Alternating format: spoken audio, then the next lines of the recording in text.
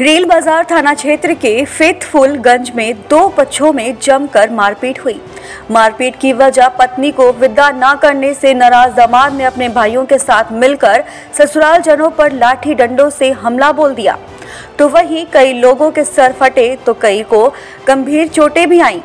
सभी घायलों को गंभीर हालत में हैलट अस्पताल में भर्ती कराया गया।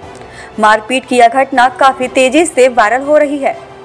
Bureau report, IPN.